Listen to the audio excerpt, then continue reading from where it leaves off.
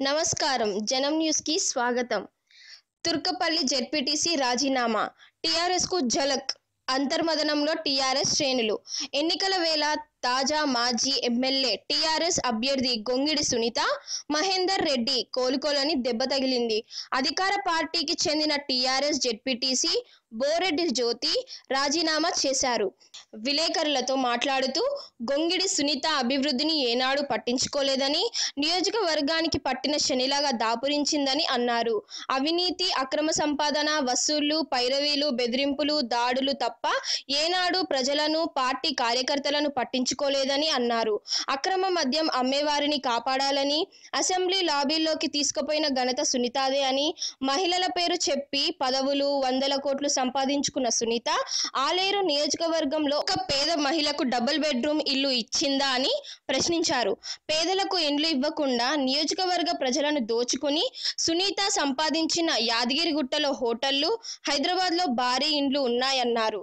దళితులకు మూడు ఎకరాల భూమి ఇప్పించలేని సునీత తన కుటుంబ సభ్యులు బంధువులు సన్నిహితుల పేరుతో యాదాద్రి చుట్టుపక్కల కూడబెట్టిన వందల ఎకరాలు ఎలా వచ్చాయని ప్రభుత్వ భూములను సునీత అనుచరులతో కబ్జా చేయించి మండల కేంద్రంలో కోట్ల రూపాయల విలువైన ప్రభుత్వ భూములను సునీత అనుచరులు ఆక్రమించి భూ కబ్జాలకు పాల్పడ్డారని గోదాం కస్తూరిబా పాఠశాల మోడల్ స్కూల్ వంటి రవాణా సౌకర్యాలు లేని ఆరు కిలోమీటర్ దూరంలో ఏర్పాటు చేశారని ప్రభుత్వ భూములను ఆక్రమించుకొని ప్రభుత్వ దేవాలయాలు కట్టకుండా చేస్తున్నారని ఆవేదన వ్యక్తం చేశారు.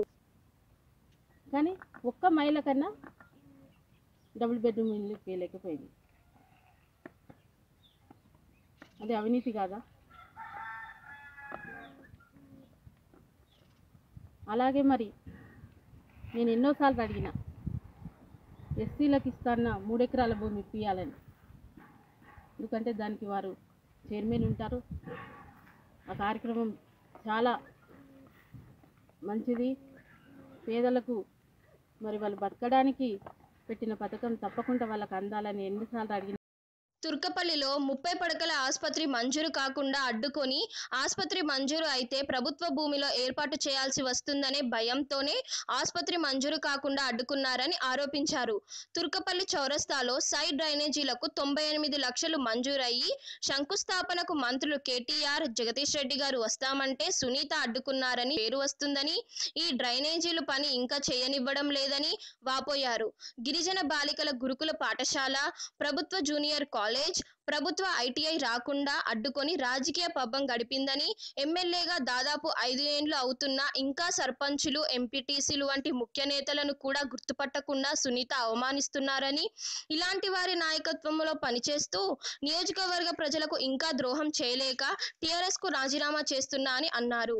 పార్టీకి చెందిన ఆలేరు మార్కెట్ కమిటీ మాజీ వైస్ చైర్మన్ గుడిపాటి మధుసూదన్ రెడ్డి మాజీ జెడ్పీటీసీ పార్టీకి చెందిన ఆలేరు మార్కెట్ కమిటీ మాజీ వైస్ చైర్మన్ గుడిపాటి మధుసూదన్ రెడ్డి మాజీ జెడ్పీటీసీ గట్టు స్వరూప నరేందర్ ముఖ్య నేతలు టీఆర్ఎస్కు రాజీనామా చేశారు.